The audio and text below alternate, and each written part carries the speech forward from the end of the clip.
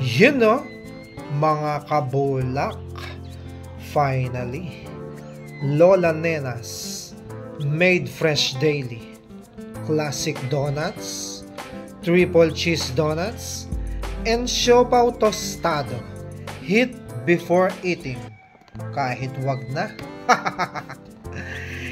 Here we go. Charan!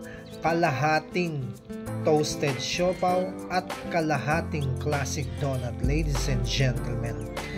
Try nyo na ang Lola Nenas classic donut, triple cheese donuts, and siopaw tostado. Highly recommended. Napakasarap talaga.